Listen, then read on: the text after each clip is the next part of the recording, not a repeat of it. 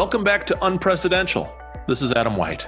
On February 21st, 2020, we were joined at AEI by Keith E. Whittington, the Princeton professor, the scholar of the Supreme Court, whose latest book is a fascinating study of the history of judicial review in America. The book is titled Repugnant Laws Judicial Review of Acts of Congress from the Founding to the Present. It's a fascinating book. Go out and read it. But in the meantime, you can listen to our discussion. Well, good morning, everybody. My name is Adam White. I'm a resident scholar here at the American Enterprise Institute. It's my honor and pleasure to welcome you to introduce this discussion and to introduce today's featured guest. In his famous study of American democracy, Alexis de Tocqueville observed that there is almost no political question in the United States that's not resolved sooner or later into a judicial question. That line is so familiar now that it's almost cliche, but perhaps Tocqueville's insight was even more true than we thought we knew. In a new book, a leading scholar of American constitutionalism examines 1,308 cases decided by the Supreme Court from 1789 to 2018, in which the court judged the constitutionality of laws passed by Congress. This study and the conclusions that it draws are a landmark achievement in American constitutional law. The book is Repugnant Laws Judicial Review of Acts of Congress from the Founding to the Present, and its author is our guest today, Professor Keith Whittington, the William Nelson Cromwell Professor of Politics at Princeton University. Professor Whittington, thanks for joining us today.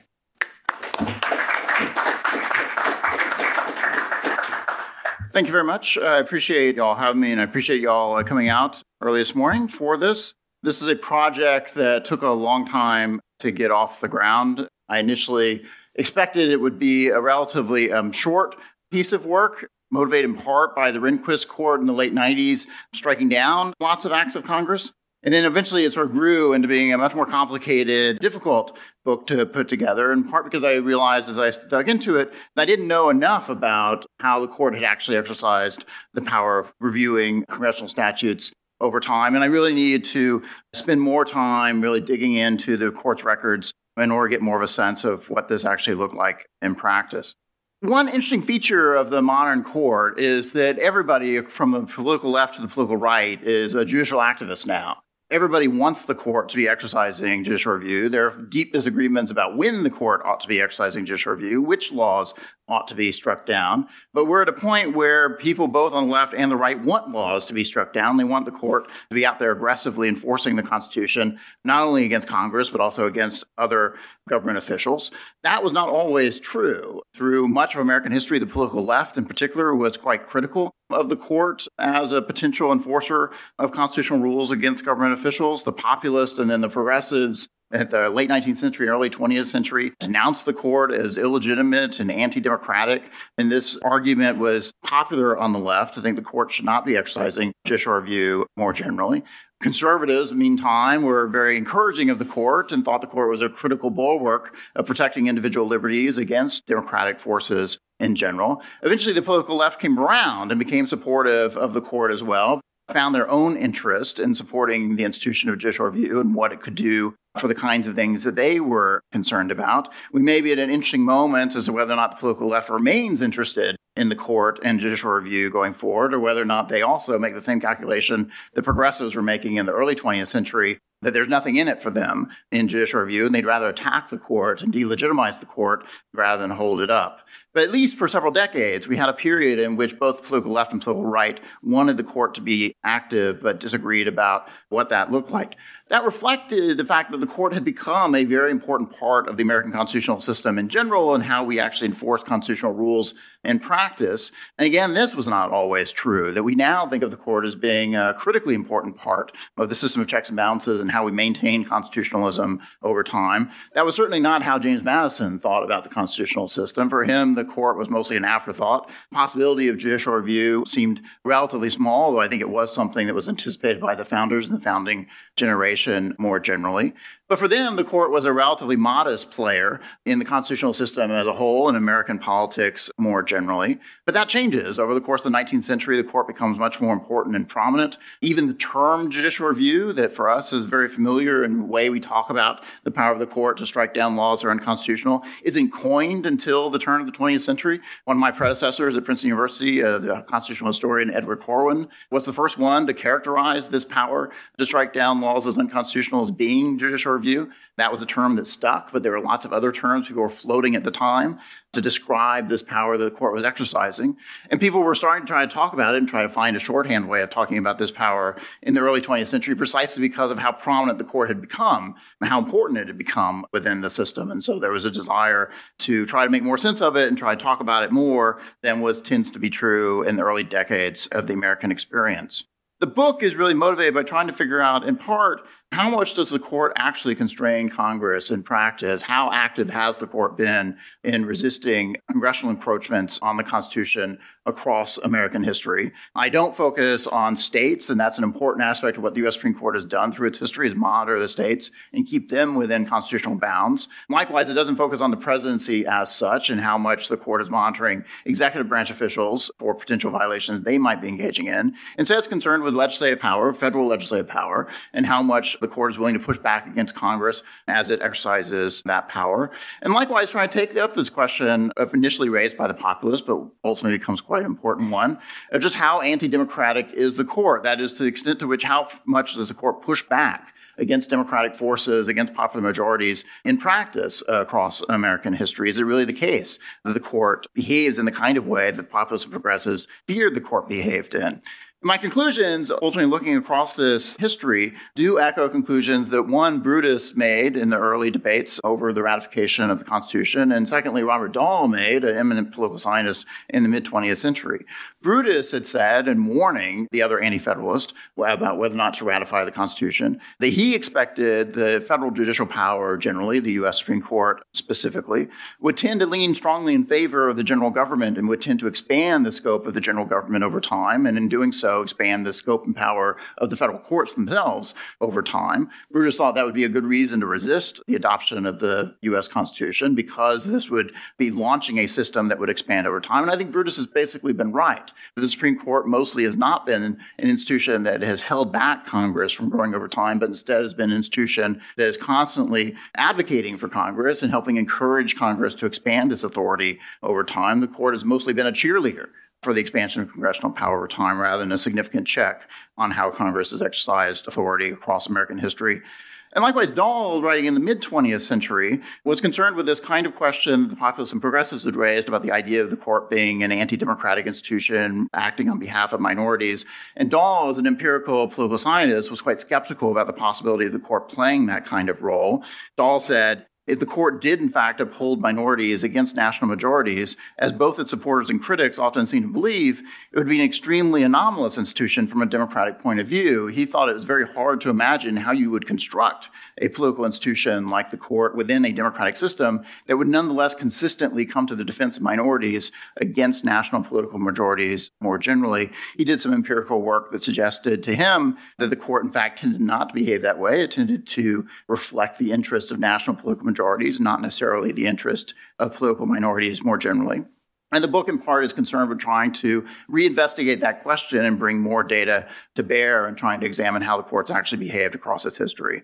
As I noted, then ultimately the book winds up looking at over 1,300 cases in which the court substantively evaluated the constitutionality of the application of a federal law in a case before them. This is dramatically more cases than I think we commonly think the court has actually exercised power of judicial review against Congress. We have a canonical list of cases the Congressional Research Service maintains about how often the court has struck down federal laws over time. That list actually was initially developed by the same Edward Corwin who coined the term judicial review. He initially created that list in the early part of the 20th century. I think it actually misses quite a few cases. It leaves out quite a lot of how much the court has pushed back against Congress over time. But that list doesn't even try to identify cases in which the court has upheld exercises of congressional power over time. And that's actually a lot of what the court has done with the power of judicial review over time. So I think across these 1,300 cases or so, only about a quarter of them result in the court invalidating acts of Congress and refusing to apply acts of Congress in cases in front of them because of constitutional problems, which means three quarters of the cases the court is saying that the Congress is perfectly fine to exercise the power they're trying to exercise in that case. And they turn away litigants who are trying to argue that Congress has exceeded its constitutional limits. Generally, I think we underestimate both how early the court was exercising judicial review and also how often the court has exercised judicial review, specifically relative to Congress across American history in part, I think because we look for the wrong things in trying to think about judicial review. We're looking for certain telltale signs of judicial review that misunderstands the variety of ways in which the court effectively exercises the power of limiting Congress under the Constitution in cases that come before it.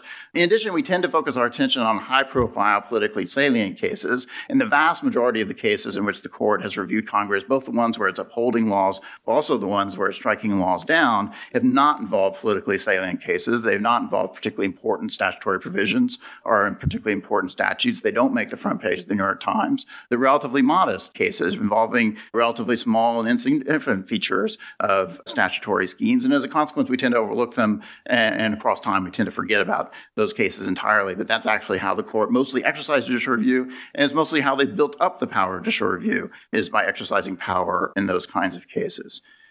I think Supreme Court Justice Joseph Story was suggestive of a certain style in which the court exercised judicial review that's been prominent across its history. It was particularly prominent in the 19th century and has led us in part, I think, to underestimate how often the court exercised judicial review in a circuit court case, when Supreme Court justices at the time rode circuit, so they would sit in trial cases out in the countryside as well as uh, sitting on the U.S. Supreme Court in an appellate capacity. In one of those cases, Justice Story wrote an opinion in a case in which there was a constitutional challenge to a federal law. And Story notes the attitude that the court should take when thinking about these kinds of constitutional challenges that are brought up about federal statutes in particular.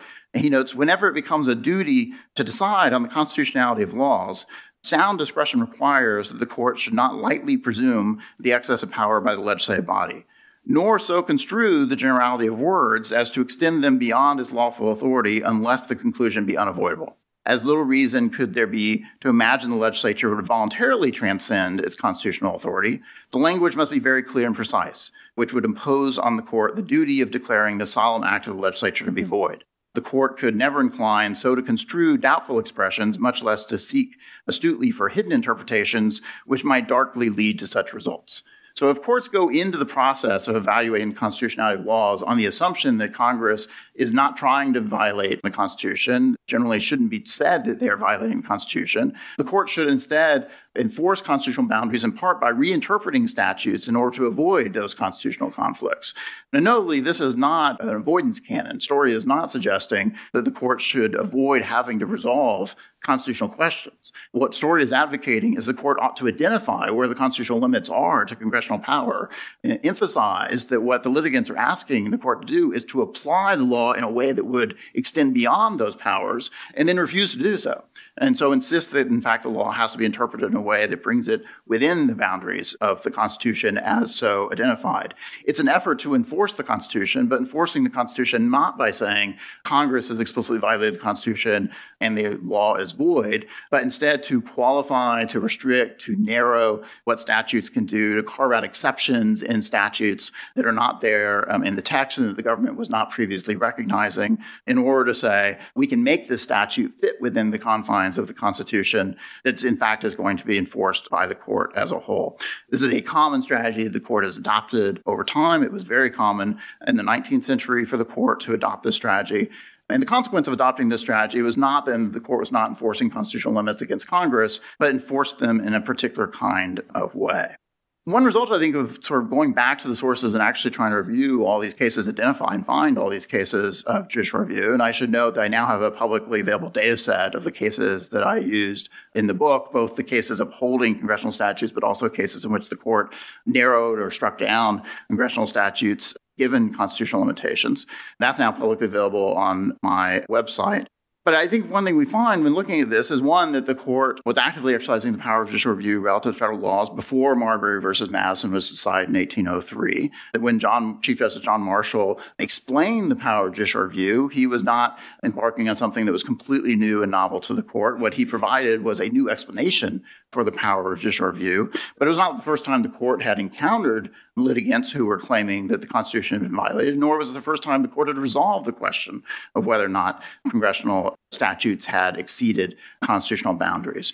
Moreover, we have a traditional story in which the court had only voided statutes in two cases prior to the Civil War, one in Marbury versus Madison in 1803, but the second in Dred Scott just before the Civil War in 1857. And I think instead there are actually dozens of cases where the court was evaluating the constitutionality of federal statutes during this period, and quite a few cases where the court, in fact, was saying Congress had exceeded the bounds of its constitutional authority, and the court was going to enforce those boundaries against Congress over that period period.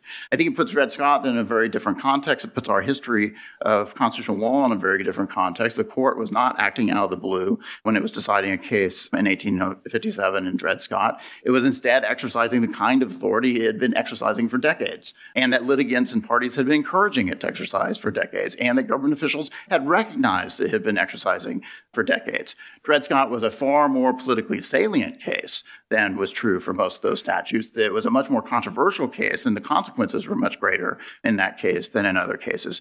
But the nature of the power the court was exercising in Dred Scott was actually not that unusual for what the court had already been doing up to that time. Even so, even though I think there was actually more judicial review than we tend to think in the early part of the nation's history, it grew dramatically over time. The court became more active. The cases that it tended to resolve became more politically salient and tended to be more prominent. The court began to regularly strike down laws as unconstitutional. And notably, the court became more contemporaneous in how it was reviewing the constitutionality of statutes. It was not weighing in years or even decades after the law had been passed the way it tended to do actually in the first few decades of the nation's history. Instead, it was reviewing laws much more quickly, reviewing controversies that were still fresh in the public mind and fresh in politics more generally. And as a consequence, made the court a much more significant player politically than it had been earlier in its history, even though I think in general still a relatively modest player compared to the overall political system more generally.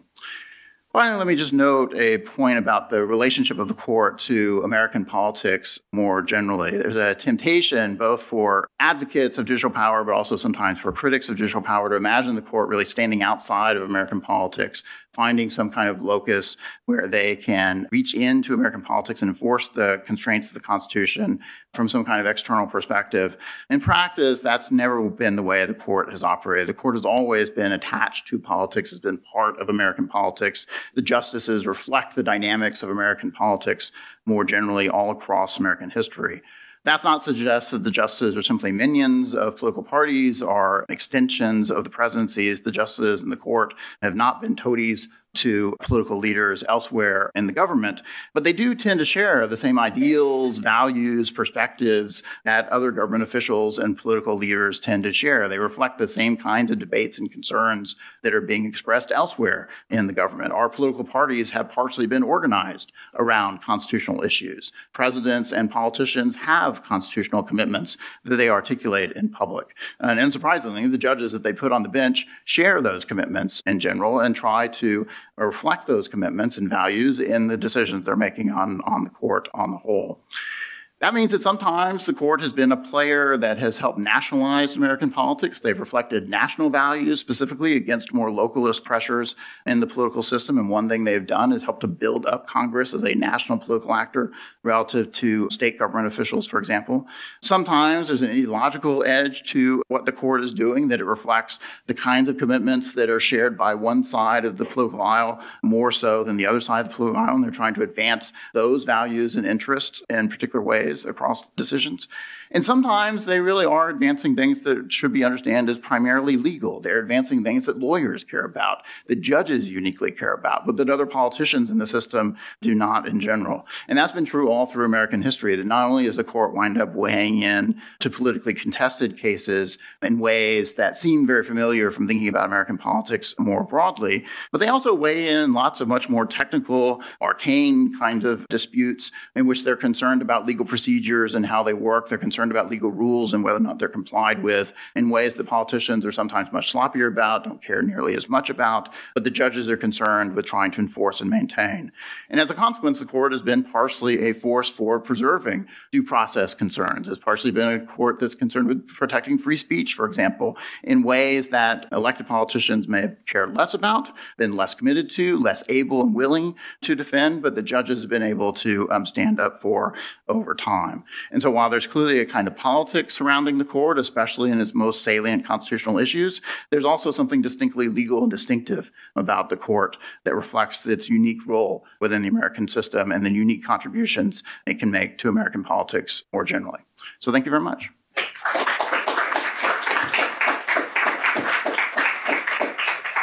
A few questions about the book, and then we'll have time for, for the audience to ask questions. First, let's just talk about the study itself. You, you, as you said, reviewed over 1,300 cases.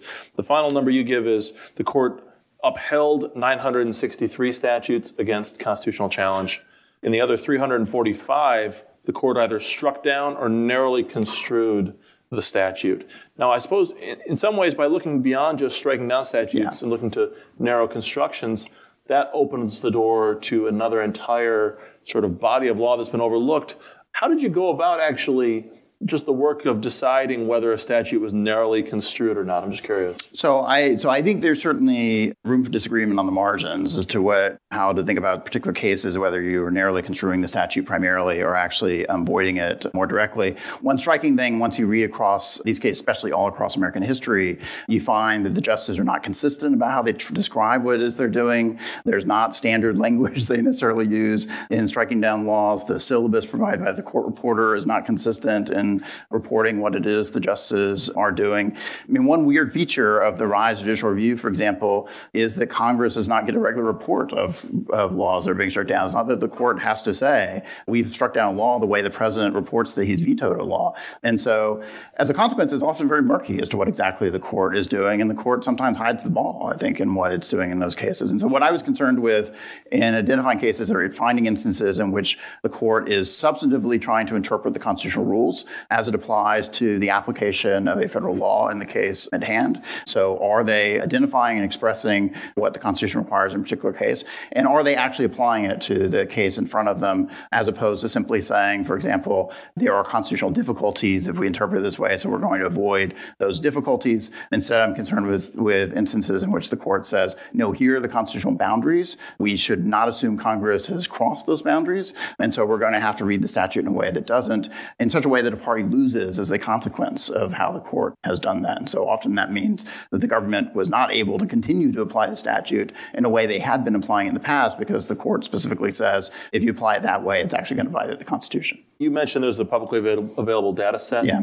Is there a website for this? People can just Google it. What's the so so you can find it on my homepage at Princeton University. I've set up a page that specifically has this data set of the judicial review data set as well as sort of other things I've been I've been doing more more generally. So I do hope that scholars and others will find this useful. I spent an excessive amount of time digging out these cases, and you know I hope that they prove to be interesting to others. I mean, there are a remarkable number of cases in which I think the court straightforwardly did in fact render provisions of federal laws null and void in sort of a class classic Marbury Madison style, and yet they do not appear in the Congressional Research Service list. So part of the additional cases and validations are a function of the court and identifying boundaries, then narrowing how to interpret laws or carving out exceptions to laws. But sometimes they're just nullifying laws, and but they've gone under the radar for what we looked at. And of course, this big bulk of cases where they've been upholding laws, I think we just don't have a handle on at all. So in the book, you, you just proceed chronologically through different eras of the court. You focus first on the early republic,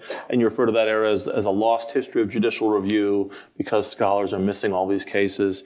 Focusing on the pre-Civil War era, as you mentioned in your remarks, this is largely a time of the court advancing the project of nation building or you say facilitating the process of nation building. You point to a famous case like Gibbons versus Ogden, where the court, before it can strike down the state law that was limiting the interstate uh, commerce, the, the ferry traffic. Before they could do that, they had to affirm the federal government's power in the first place. Can you just say a little bit more about that? that yeah, sometimes I mean it's it's one of the interesting questions about how the constitutionality of congressional statutes and the limits of congressional power come into play in, in cases. And sometimes it's very straightforward. Somebody's challenging the application of a federal law to them and arguing that Congress has exceeded its constitutional bounds. But sometimes it comes up in these indirect ways. And Gibbons is a classic example of it where they're primarily concerned with what the state has done. But in the process of resolving that secondary issue or that primary issue for them, they also wind up having to touch on what Congress has done. In this case, whether or not Congress has exercised an authority to license coastal traveling ships, and if so, what the scope of that license is, because what the scope of the interstate commerce power is under the congressional statute. The primary goal here for the court was to resolve the state issue. In doing so, it winds up expanding congressional power by upholding what Congress had done in, in that particular context. Yeah. In the Civil War, the main feature of the cases you study is, is the timing of cases that the court by reaching issues a little bit later, was able to reach them at a time when they were less politically salient or maybe less directly tied to the immediate interests of war and so on. But then when we get back to the post Civil War era, the immediate aftermath of that, as you point out, uh, the way you phrased it was striking. You said, surprisingly, the court became more activist only after it was stacked with Republican appointees, that the court was doing more and more after it was filled with the dominant political coalitions right. members. Could you just describe that a little bit? Yeah, I mean, part of what's, I mean, part of what's interesting about Dahl's perspective, which I think is mostly right how Robert Dahl tried to think about the court, that it's an ally to national political coalitions. But his assumption was that if you have justices who are basically allies to the national legislative majority, the implications were that the court would never be striking down laws because they would be reviewing laws of their political allies and, and from being passed by Congress, and they would just approve them over time. And so the court in general ought to be a very passive institution. I think instead we find that there are all kinds of incentives for justices to be very active in striking down laws, even when their political friends are in office. The justices have found reasons to invalidate and narrow laws passed by their own coalition partners in Congress, not just by their political enemies in Congress. So you would expect, Dahl would have expected a Republican dominated Supreme Court to be upholding Republican legislation being passed by Congress, and they would only strike down Democratic legislation, for example. And that's just not the way the court actually has worked in practice. You uh, described yeah. it just a moment ago in terms of incentives not to get you mid, yeah, sip, yeah. but what sort of incentives are there that would drive Republican appointed judges to look with particular scrutiny at the, the laws passed by their own political coalition? Yeah, so I think it's a, it's it's a variety of things that play out. I think across a range of different cases, you see different elements revealing themselves. And so, in some contexts, for example, you find that elected politicians will deviate from their own ideological commitments. And so, a political party might well have a set of express constitutional commitments, but then they find because of electoral pressures or governing pressures or other things, they wind up passing statutes that actually are in conflict with those same values and beliefs that the politicians say they believe in in, but the justices really do believe in. And the justices don't have to worry about getting reelected in the same way that politicians do. They aren't worried about the same governing calculations that politicians are willing to do. And as a consequence, are more willing to stand up for the constitutional values that even the politicians say they're committed to, but don't always adhere to. It's also true that politicians are sometimes simply making compromises. Even a relatively friendly Congress, from the court's perspective, a Republican dominated Congress, for example, may find itself having to make compromises with dissenting factions, with Democrats that wind up including provisions in bills that are very far away from what Republicans would think would be acceptable generally, but it makes sense for the rolling purposes of Congress, but the justices become much more skeptical of it.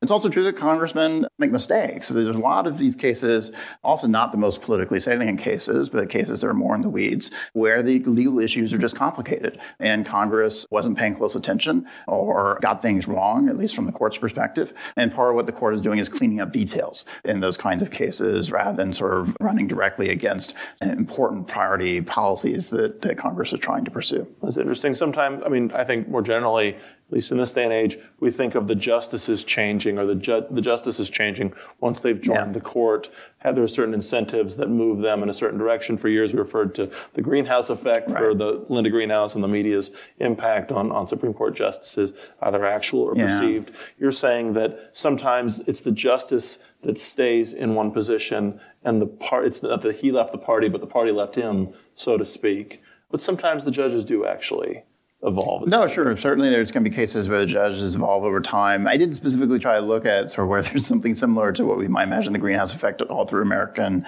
history you know, one thing that's striking, and, and, I tend to focus more in the book on thinking about the court as a whole rather than individual justices. And one thing that's that's striking when you look at this across all of American history is that the court, since the early part of the 20th century, has been characterized by individual opinions. So lots of justices are writing individual opinions. They're dissenting. They're concurring. There's disagreements um, on the court. Especially though in this context of reviewing constitutionality of federal laws, through most of American history, those disagreements were kept hidden from public view. The justices would issue decisions without published dissents, although sometimes they would note there was a dissent published dissents were relatively rare, even though there we know in some cases there were uh, dissenting views being expressed in conference privately among the justices. For example, the justices tend to maintain much more of a public face. So as a consequence, if you focus more on what individual judges are doing over that time, it, there's a lot less movement and a lot less indication of what individual judges are doing through much of American history than there is more recently, where we tend to focus much more on, well, in every case, every judge feels like they have to write their own opinion. And so you can trace in a lot of detail what they're what they're doing specifically through much of American history, that just wasn't true. Let me just a couple, ask a couple more questions about the, the classic eras of the court's history and then some big picture questions. So when you move from the post-war era to the Lochner era, an era that's generally thought of as a time in which right. the Supreme Court, with conservative or libertarian justices, was pushing back energetically and uniformly against progressive legislation in the states. You say that Actually, the data suggests that it was much more complicated than that. As you put it, the court interposed itself not into stark majoritarian environments where you're just reliably striking down the laws that were being passed in states, but you said these are much more complicated political environments where the political right. dynamic wasn't so cut and dry. Yeah. Yeah, the populists and progressives, I think, had a big stake in both the ideological stake, but also a political stake in trying to portray what the court was doing was resisting the will of popular majorities. And so they wanted to pitch the idea that the people really want whatever it is the particular legislation is, their policies that the populists and progressives want, and the courts are just rejecting that. In fact, the populists and progressives often lost elections. So they didn't actually win the elections and didn't gain the support of the American people more generally. And so partially when the court is striking things down, they're not resisting sort of obvious movements among the American people as a whole to support that legislation. Partially it's the case that even the majority party is wind up making these complex pieces of legislation that reflect a mix of different policy priorities that the court is intervening in in these instances and often intervening in ways that are in alignment with what a majority of the political coalition would tend to think, but is out of alignment with some specific minorities. It's also true, I think, that the story of, of how the Supreme Court relates to the states during this period is a little different than how the Supreme Court relates to right. Congress during this period. But it is striking given our sort of view of the Lochner period as being a period of intense activism by a conservative court against progressive legislatures in the context of reviewing acts of Congress, what that conservative court is mostly doing is upholding acts of Congress and, and authorizing the administrative state. The national state is growing dramatically during this period. Lots of creativity as to what policies and institutions look like. And the court is overwhelmingly approving of those things. So every once in a while they strike something down. But for the most part, they are rubber stamping what it is Congress is doing, even though what Congress is doing is radically new compared to what the federal government looked like 20, 30, 40 years before. And when we look just a few decades later in the New Deal era, yeah. the classic story is that a conservative Supreme Court was pushing back against FDR and the New Until the moment in which the court saw itself as politically threatened, and so the so-called switch in time that saves nine, the court moves into a much more relaxed and deferential posture. Right. But you say actually, even in that era, when the court was pushing back against laws, it was primarily not pushing back against the most recent New Deal enactments. You say they were pecking away at older, less politically salient laws and less central legislative provisions. And yeah. this is part of a broader theme here that you, in contrast to sort of Alexander Bickel and the idea of a counter-majoritarian difficulty, you say oftentimes the court is receiving these cases, or these cases challenging statutes long after the statute was passed, so the political coalition at the time of judicial review is much different. It's no longer counter-majoritarian at, at, at, all when it's striking down a statute. Yeah, no, I think that's right across the court's history as a whole. I mean, one thing that is striking about the New Deal period, and, and really when we think of the New Deal period, we're thinking of a very small window of basically 1934 to 1937, so really three or four years during Roosevelt's first term for the most part where the court is being very aggressive. It is striking down an unusually large number of laws, and those are laws that are unusually important and unusually recent. But the court activity sort of surrounding that tends not to look like that. And so, one thing I was really struck by was the extent to which the New Deal is idiosyncratic. That, that sort of brief conflict between Congress and the court of the FDR administration and the court does stand out as being a different moment of how the court relates itself to Congress than is true through much of its history, including how, for example, the relatively conservative Taft Court had been behaving all through the 1920s, where they were striking down a very large number of laws, historically speaking, but it often did involve relatively minor laws. It was older laws and the like. The New Deal j- j- jumps out at you as being a moment in which, for a few years there, the court was doing something very unusual. And I think it's telling that, that the court could not sustain that the political branches push back during this period. You mentioned the Civil War earlier, for example. Civil War is, is reflective of how the court often has behaved during wars, but it was particularly true during the Civil War. The court has this long window where they're not striking down anything at all. And that tends to be true a lot of wartime uh, mm-hmm. periods where the court is avoiding wartime cases. They're not striking down wartime measures. They might weigh in after the war's over and say some of that stuff was not well done, and, and certainly now it needs to be cleaned up. But while the war is on, the court tends to uh, take a back seat. So the Great Depression as a national crisis or comparable to war in some ways is distinctive where the court is just wading in right in the midst of the crisis, telling Congress it can't do things, and Congress really does push back. Yeah, and not just in times of war, but sometimes in times of peace. Yep. The court is doing less. You, you close by pointing out that since the turn of the 21st, since the 21st century began, the court is now striking down federal statutes at a historically low yeah. pace. And I think also state laws, if I remember yeah. correctly. Yeah, yeah. Uh, that it's, well, let me just ask a couple of, of big picture questions then. One of the most striking lines in the entire book, as you're sort of framing all of this, is this point about the court reinforcing federal power. But the way you, you phrase it is, is very interesting. You say, an important aspect of the court's work in exercising judicial review has been in upholding laws against constitutional challenge. The court's ongoing effort to silence critics of congressional power is a crucial part of how the court advances a common project of governance with its allies in the elected branches. Now, when you say silence critics, you don't literally mean you know, yeah, saying stop arguing Throwing about this. Jail, right. But the fact is, it's not so much that they're silencing the critics, but that when the court decides these cases, critics often fall silent and step away from the controversy. Of course, that's not always the case. We just a few weeks ago right. marked the anniversary of, of Roe versus mm-hmm. Wade, and there are certain touchstone cases that certainly didn't silence right. critics. But that's right that over that on the whole, the Supreme Court's word tends to be taken as final and authoritative, even by advocates of a, of a position yeah, I think I think it's right that the, that does often have the effect of, of at least reducing the amount of criticism of, of given laws. But there's an interesting sort of conceptual question as to why does the court uphold so many laws it does, right? So as I noted that three quarters of these cases involve the court upholding statutes. There's an interesting question, why bother doing those cases? And of course, through much of the 19th century, the court has mandatory, mandatory right. jurisdiction. Cases are coming to them. They have to resolve them. And so they don't have a choice about necessarily avoiding those cases. Through much of the 20th century, on the other hand, they have discretionary jurisdiction. Not entirely true for all these specific kinds of cases that involve constitutionality of federal statutes, but for a lot of these, and yet even cases they're taking on a voluntary basis, they're still upholding laws and raises questions about, well, what are they doing when they're doing that? And I think part of the point of the court for taking those cases is precisely to try to instruct the lower courts in particular, but also often those who are off the outside the judiciary about what the constitutional rules are, what the constitutional standards are from the Supreme Court's perspective, and why it is these cases are actually fine, this, these laws are actually constitutional, and so as a consequence to discourage state judges and lower court federal judges from continuing to attack those laws. One thing that was striking about the late Roberts Court or the Roberts Court until relatively recently is they have not taken those kind of cases. So the Roberts Court sort of changed this historic pattern and that they really have dropped cases in which they are simply going to uphold the constitutionality of the federal law um, that has also been upheld in the lower federal courts. So the, the Roberts Court instead has focused its attention when it takes these cases on cases in which it actually wants to invalidate the federal law. And that's not generally been true about the court, but it seems to be true recently. Well, since it only takes four justices out of yeah. the nine to grant cert, it might also be the case that oftentimes not only with the justices themselves, the four who grant cert, they might not know where the fifth vote is. They probably have a guess. And they might not themselves know whether they're the fifth vote, too. Right, right. It's not that the court always knows when it grants a case how it's going to decide a case, although, of course, often they grant the case precisely because they, they probably think the lower court was wrong. No, I think that's right. There's certainly some instances in which there's likely to be some uncertainty among the justices as to how the case is likely to come out.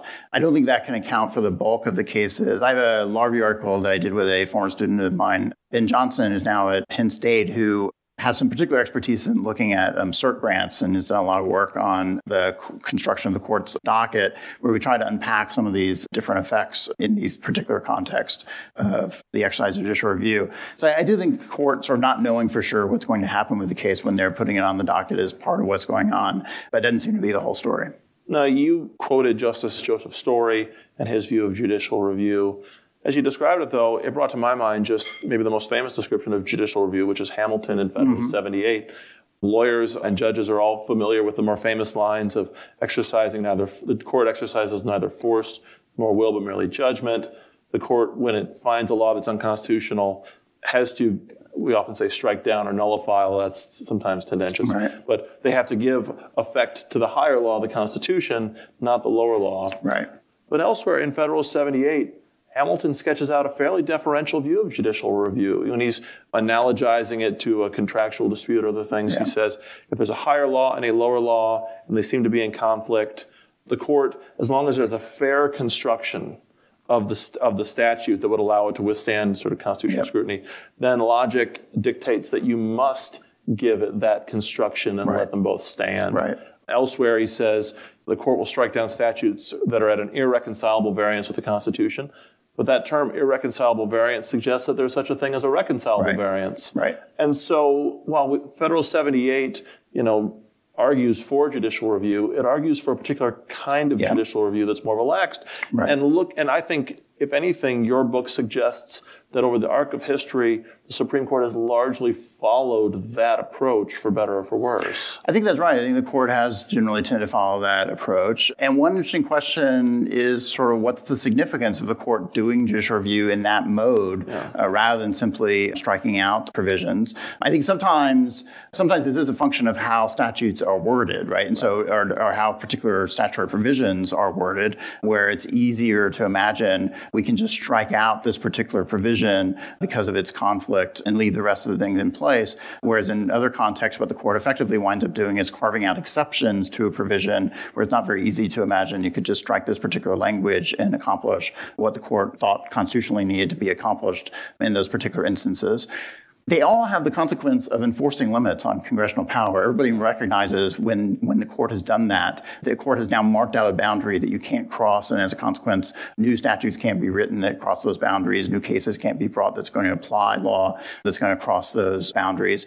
But it may be a way in which the court is minimizing the direct conflict with Congress, that it's a more subtle move, it's a much less public slap in the face of Congress as a consequence of that. And, and as a consequence, I think that we as scholars have tended to overlook those cases and not emphasize them as much. I think they've also gotten less public attention and less congressional attention than cases where the court has simply said that's null and void and it's void and we're going to strike it down in its entirety. I mean, here's a current example. In a few days, the Supreme Court's going to hear oral arguments in a case involving a constitutional challenge to the Consumer Financial Protection Bureau. It has a particular structure that yeah. gives it a measure of independence from the the president. I'll say in, in my, I'm no fan of the statute. In my right. past life as a lawyer, I was involved in some of the constitutional challenges against it. Now that the court has actually granted the case, looking at it, I wonder if, if they might not avoid a constitutional issue here. Ever since these debates over the agency, independent agencies started in 1935, or a little bit before that, the court has said that it's okay for Congress to, to insulate some agencies from direct presidential right. removal. FDR tried to fire the FTC commissioner, and the court said it's okay for the statute to prevent the president from firing him at will. But these statutes that limit the president's removal power, they've never said expressly, explicitly the president can't fire these people over policy differences. Right. And the court has never said that these statutes forbid that kind of thing. The Supreme Court said in a recent case they think that's the better reading, but they've never actually held it. Mm-hmm. And so if the court's going to strike down the, this aspect of Dodd Frank, they might have to first decide, well, what does this removal protection mean? Right. Is a president blocked from firing the CFPB director over policy disagreement? And if the court construes this, these, all these statutes as saying, well, no, actually, you can fire a CFPB director or an FTC commissioner, on and on, over policy disagreements, it leaves a statute intact, Yep. but it certainly recharacterizes the statutes in a way that vindicates presidential power and congressional power. No, there's no question about that, and it's and it's it's one thing I think this, these kinds of histories should emphasize is that there's a range of tools the courts have about how they address laws, and they have a range of consequences. And so, I limited myself to thinking about cases in which the court was explicit in, in identifying a constitutional boundary, and then trying to enforce that constitutional boundary and saying that the Congress can't cross it, at least as applied in, in the case in front of them. But you can easily imagine a lot of those exact same cases occurring, which the court just never includes language about what Yeah. the constitutional limit was. They just did the statutory interpretation part. And it may be in the background they were thinking about there are constitutional problems here that we're going to try to avoid. But they don't talk about that in the case, for example. I think there probably are a lot of cases that look like that. I think they're hard to identify. It's hard to know what's motivating the justices then when they're engaged in particularly creative statutory interpretation in that light. I do think one consequence of doing it that way, as opposed to the cases I am focused on in the book, is that you do not then clearly articulate what the constitutional limit is, right? So if you keep that completely implicit and all you do is interpret the statute in a particular way, you're still leaving the door open then that sometime down the road you're going to have to deal with the constitutional issue or that Congress might continue to overreach from the justice perspective and continue passing new statutes that might go too far. So one virtue of this strategy of saying we're going to creatively interpret the statute so as not to run up against this hard constitutional rule is you are clearly stating what the constitutional rule is and sending signals to people about that the rule exists and that we're going to enforce it and recognize it. Well, there's still time for questions. I'd like to open it up to the audience. Please raise your hand and identify yourself. A microphone will come to you. We'll start with uh, Ed Whelan. Ed Whelan, Ethics and Public Policy Center. Thanks for the presentation. On the question of the relationship between the president and Congress, I wonder whether the bright line that you draw Yeah. between federal review of federal legislation, I mean the Supreme Court and Congress, and between the review of federal legislation and review of state legislation, overlooks the impact that the court's rulings on state legislation can have in Yeah. constraining what Congress will do, especially uh, obviously in the last century or so in the post incorporation period, Yeah. when a ruling that states can't do X because of a rights provision in the Bill of Rights Right. means that Congress can't. Do you have any observations on that? I, I think that's absolutely right. And I think one of the messy things about this project is trying to figure out sort of where the boundaries are and what you're capturing and what you're not capturing particularly. And, and so I do think it's entirely possible, for example, that, and I think you're right, especially in the context of rights provisions, that the court thinks the same provision is going to apply through the 14th and also is going to apply through provisions to Congress itself, that if they articulate it in a, in a case involving the states, it falls outside the scope of my study, everybody may then recognize it has consequences for federal law. Sometimes that will show up in this context because the court will then later apply it to a federal law and then cite back to this other case. But you can easily imagine other contexts in which, for example, the lower courts are doing the same thing, and that I don't necessarily track, or simply the executive branch is taking note of it and they're avoiding applying the law in ways that are going to conflict. Congress takes note of it and they stop passing statutes that are going to conflict in this kind of way. And so I do think part of what I mean, part of what this project highlights, but I think is also just in the background of this project, is is the extent to which there is a lot of effect the court can have on what politicians are doing that is in the dark in that sense that they're not simply the direct instances in which the court is striking down laws but also these other more indirect signals that the court is sending that have consequences down the road for what policymaking looks like. But you never get the explicit clash then between the court and, and others. And so when i say the court only strikes down you know a quarter of the cases when, that's evaluating what is much harder to get a handle on is what are the ripple effects of that in terms of what statutes don't get passed, how does it modify what legislative provisions wind up looking like, how does it modify what executive branch implementation of statutes look like as a consequence of those decisions. I think that's really hard to actually get a handle on. I didn't try to get a handle on in the book, but I think it's it's ultimately important to what the, if we're thinking about what the larger influence of the courts are. That could be your next book, Still More Repugnant Laws. I think um, that will not be my next book. so the next question will be here, and then I saw a hand over here. You'll be next. Thank you. I'm Catherine Francois from the Becket Fund for Religious Liberty. My question you kind of touched on the New Deal moment under FDR when the executive branch was expanding quite a bit. And in response to that, the court started striking down Right. many more laws. And then you also touched on how the Roberts Court has been invalidating much more laws than in the past. And I'm wondering if there's a similar moment under the Obama administration where the executive branch was expanding quite a bit, also in the wake of a financial crisis, if there's maybe a little bit of a parallel there.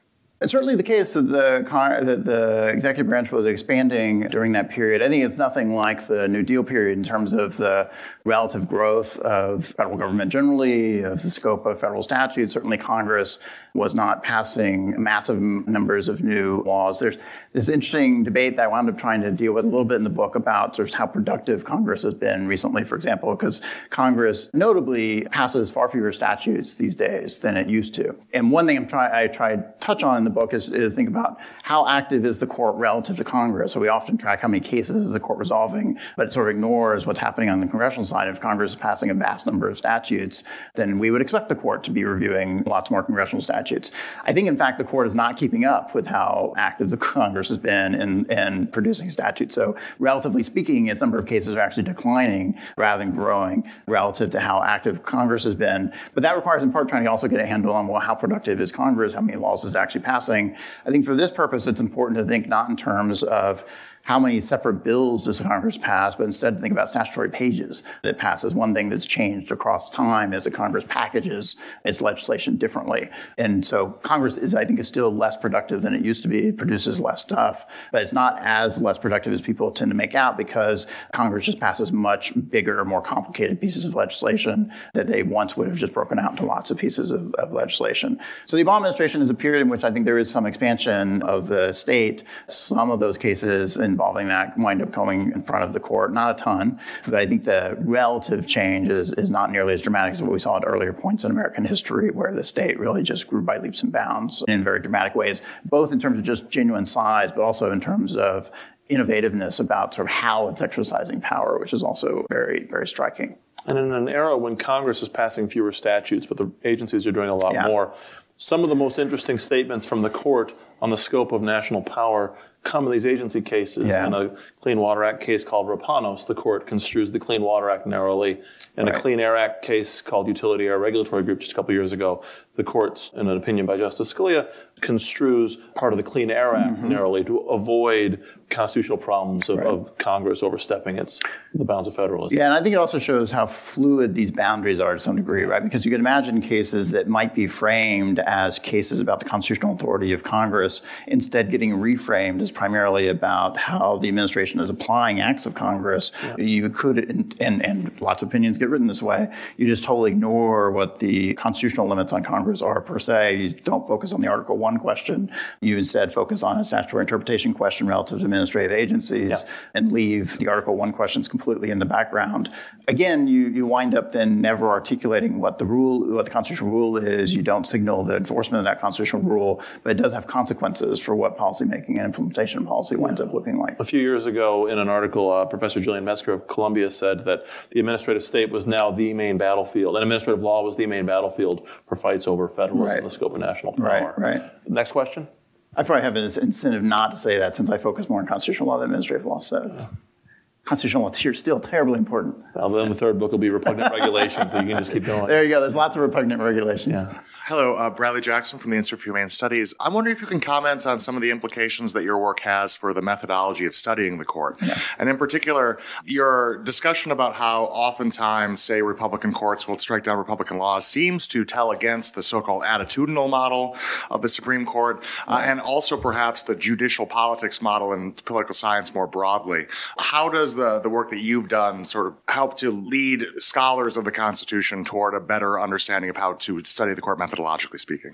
Yeah, I think it certainly complicates that that narrative that you do not see there are sort of cruder and more sophisticated versions of those kinds of, of models of, of, judicial behavior. And certainly, I think the relatively crude versions that would simply emphasize partisan conflict, I don't think hold up very well, especially across the long stretch of American history. They may work better in very specific time periods, for example. I think the underlying that model, though, is a claim that, that justices have a set of constitutional commitments that they're going to enforce in a relatively predictable way across a range of cases over time. And I think that's probably mostly true. The justices do have a set of commitments. There's disagreement about how to characterize those commitments, or we should think about them as policy preferences, for example, or a set of constitutional understandings and judicial philosophy. But they have a set of constitutional commitments that they do, in fact, tend to implement um, over over time. On the other hand, I think the attitudinalists, for example, within the judicial politics literature, also tend to emphasize the judges are sufficiently independent, insulated that they don't have to worry about pushback, and they will just push on those commitments. And I don't think that's quite right. I think actually all, uh, across American history, we see plenty of instances where the court is being cautious because of its concern about how Congress and the president is likely to respond. Well, again, thank you everybody for joining us today. Thanks for everybody who's viewing online. The book is Repugnant Laws Judicial Review of Acts of Congress from the Founding to the Present by Kansas Press. Please join me in thanking Professor Whittington. Thank you.